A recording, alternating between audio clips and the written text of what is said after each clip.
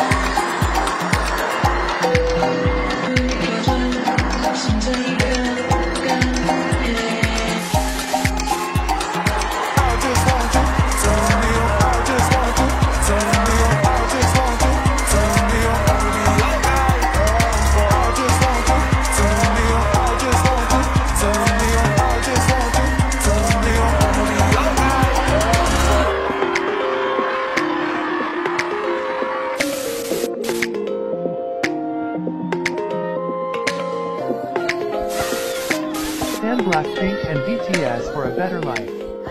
That's all for this video.